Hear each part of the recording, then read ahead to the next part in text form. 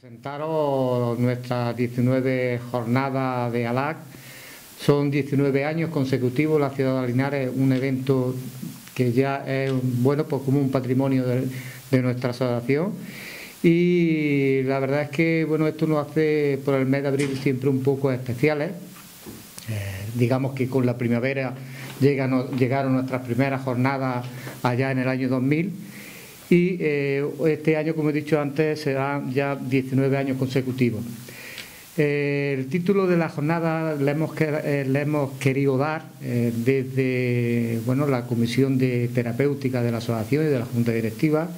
el nombre de los grupos de ayuda mutua, porque es un título en el cual nuestra asociación, la medicina que tenemos a las personas adictas,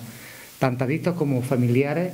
es eh, la, las terapias de ayuda mutua. Por eso la gran importancia que tenemos en nuestra asociación de los grupos de ayuda mutua. Evidentemente, pues tenemos que hacer valer, eh, bueno, pues aquello de que yo te ayudo y tú me ayudas, ¿no?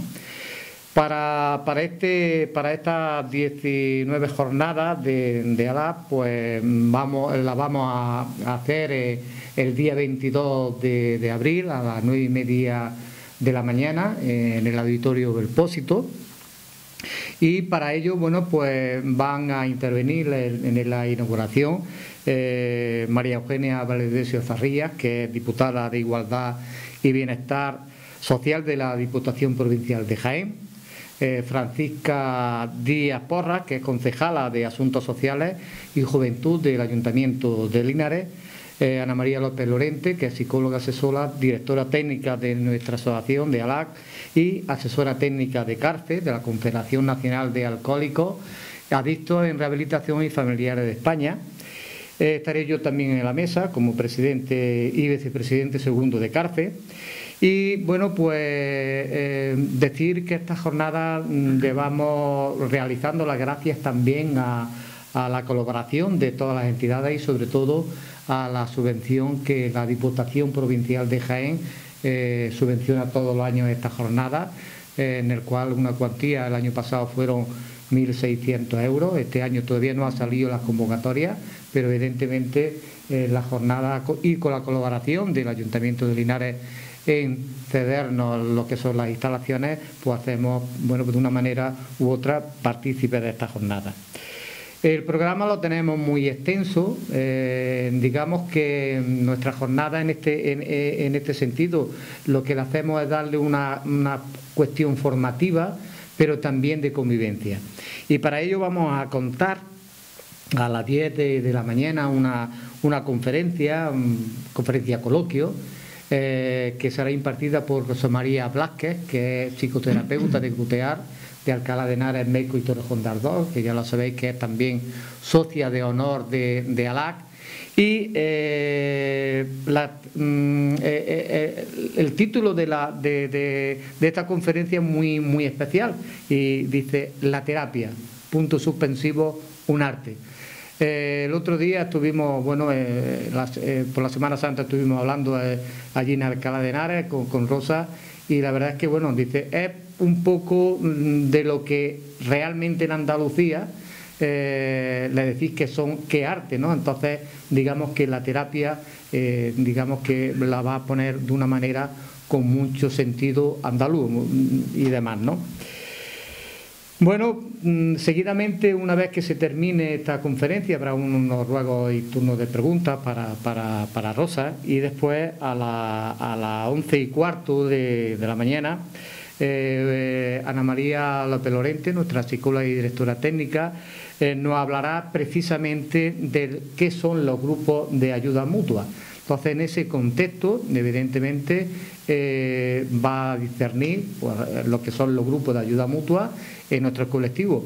Comentaros que los grupos de ayuda mutua eh, que se, le achacaba eh, finalmente a los alcohólicos anónimos en, América, en Estados Unidos, la verdad que no se inició ahí. El otro día comentando con, con unas personas que, además con un profesional que sabía de esto, la primera, el primer grupo de ayuda mutua fue en Europa, concretamente en Suiza, eh, en un sanatorio, en donde realmente yo me quedé sorprendido porque de toda la vida yo creía que eh, los grupos de ayuda mutua habían nacido en Estados Unidos. Pues no, señor, en Suiza, en, un hospital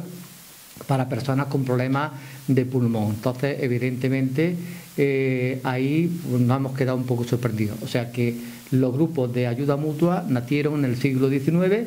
en Europa, concretamente en Suiza. Bueno, luego después viene, eh, después de la conferencia de, Ana, pues vienen una, los testimonios y la vivencia de los enfermos y familiares adictos, en este caso, eh, digamos que es donde nos reflejamos las personas. Se hace público, digamos, eh, ese testimonio real en el cual bueno van a intervenir mm, en este caso tres personas adictas de distintas de distintas edades sobre todo va a imperar las personas jóvenes y eh, también vamos a contar eh, también con la, experiencia de los familiares que van a contar desde primera mano eh, cómo llevan su rehabilitación en la asociación. O sea, nosotros en este, este aspecto, lo que el, tratamiento integral que hacemos, no solamente a la persona adicta, sino también a las personas, a los familiares más directos. Bueno, y a la una y media aproximadamente vamos a tener lo que llamamos ese reconocimiento a, esas personas que llevan un determinado tiempo en nuestra asociación que a la vez de ese tiempo mínimo que lleva en nuestra asociación, también lleva ese tiempo con buena rehabilitación. ¿Qué, queremos decir con esto? Que evidentemente, entre comillas, el dejar de consumir es fácil, pero lo difícil es cambiar esos hábitos, cambiar de vida, ser una persona nueva, crecer en valores, crecer eh, en definitiva, mm, reinsertar de una vez por todas a esa persona en la sociedad en el cual. Entonces se le va a entregar concretamente entre enfermos, adictos y familiares a seis personas este reconocimiento con la idea de que sea una motivación más para seguir eh, adelante en el, camino, eh, bueno, pues tan tortuoso como es nuestra rehabilitación, porque no es fácil estar en abstinencia, estar en rehabilitación en los tiempos que corremos, porque todas las personas no tienen la misma capacidad de entender que cualquier adicción es una enfermedad y que tenemos que ir saliendo. Para Luego tendremos la clausura que clausuraremos y luego después pues tendremos ese almuerzo convivencia que este año lo vamos a hacer en la Hacienda del Campero, en la cual pues bueno pues ahora nuestro compañero Javi nos va a comentar eh, qué asociaciones van a venir, cuántos esperamos participantes en esta jornada, porque la verdad es lo que intentamos por todos los medios eh, optimizar los recursos para que la convivencia sea real, para que las personas que vengan de fuera de, Linares pues bueno vean también un poco la ciudad y que compartan con nosotros pues esta, esta jornada, ¿no? porque no solamente eh, siempre decimos igual, ¿no? el traer bastantes personas de distintas ciudades de España a Linares, pues también es una riqueza para un conocimiento para Linares y también una, cuestión de, de conocer nuestra ciudad en todos sus aspectos. Yo quería apuntillar una cosa sobre lo que ha comentado Luismi del tema de los grupos de autoayuda que, ha dicho y es cierto, eso es que nuestra medicina es la única medicina que tenemos aquí para poder salir adelante.